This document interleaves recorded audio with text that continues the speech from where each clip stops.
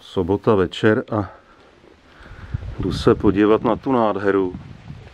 Bylo velký žuch, bum prásk, pic bum. Dva dny pršelo teď v kuse a fest a teď vlastně ustalo. Potok krásně šumí. Takhle ještě nešuměl za ten rok a půl, co jsem tady. No, takže sletěla ta načatá pravá strana skály. Teď to, co je na středu, přesně ten střed, to čeká na příště, to bude asi další etapa.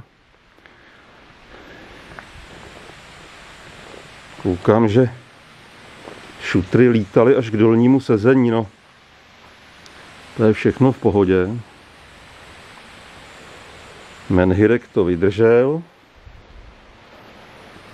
No a hlavně koukám, že to vydržel, vydržela i tahle ta nová, ještě vlastně nedospárovaná zítka, která skrývá tři sudy na vodu, tak to je bezva a vypadá, že ty sudy jsou v cajku. No a v těchto těch místech eh, byla druhá suchá zítka. To je tam, kde není vidět. Doufám, že jsem tam nenechal brejle včera. Předevčírem.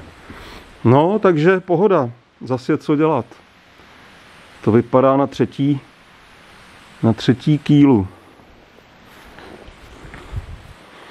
No, tady je trošku problém s kamením.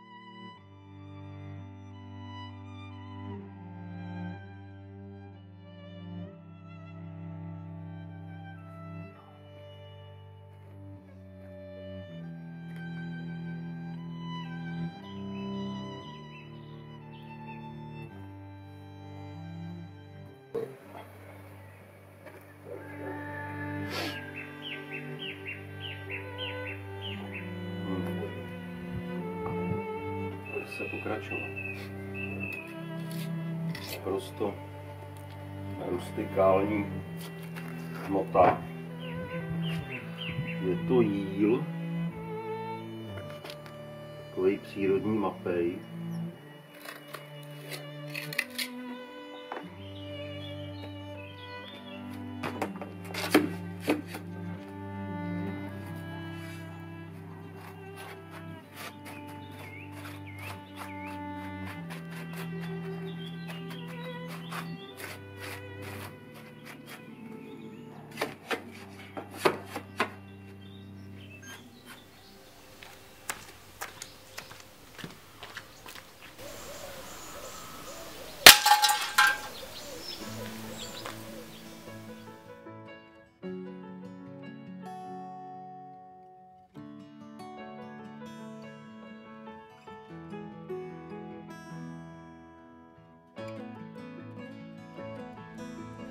Tak ještě, abych nezapomněl, tohle je Zoraky HP 01 Ultra, to je ta s tou delší hlavní verze pro praváka.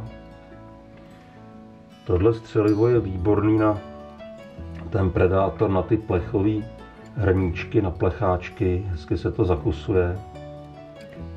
Když máte nějaký vyřazený ideální terčík, No a to je asi nejsilnější vzduchová pištolka na našem trhu, která se ještě vejde do zákona.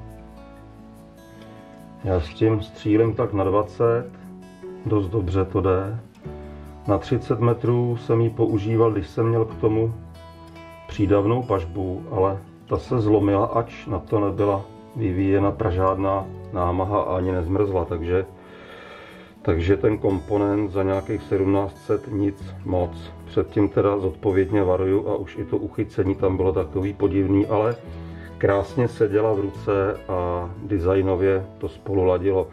Tenhle ten design je tak trošku military, ale netřeba to brát až tak vážně. Filip.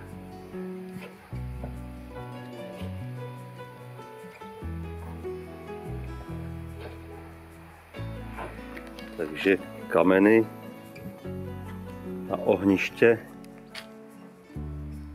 Kameny kolem ohniště už jsou teda skoro poskládaný. Zítra bych mohl dokončit tu zítku, která bude krejt tady ty barely, ty soudky na vodu. Už se smívá.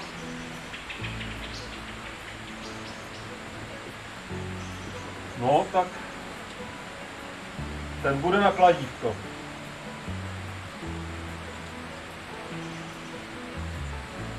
Jo, jo.